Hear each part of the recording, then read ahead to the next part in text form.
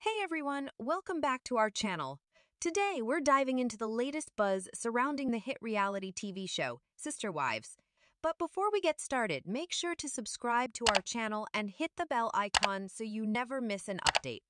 Sister Wives Season 18 kept fans on the edge of their seats with its twists and turns, including David's introduction to the family and Christine's wedding. Naturally, anticipation was high for season 19. However, tragedy struck before any official announcement could be made. Garrison's untimely death has left viewers questioning whether his passing will be addressed in the upcoming season and if the Browns will return for another installment.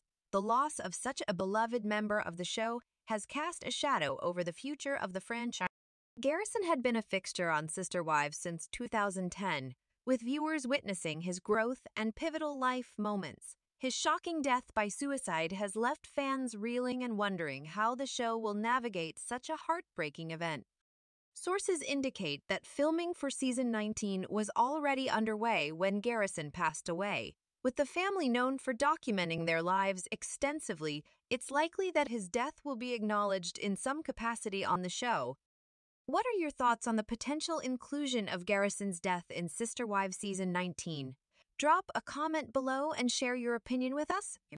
As the Browns continue to mourn the loss of Garrison, fans eagerly await updates on the future of Sister Wives. Stay tuned to our channel for all the latest news and developments. And don't forget to subscribe and hit the bell icon for more updates. Until next time, this is Emma signing off. Take care and thanks for watching.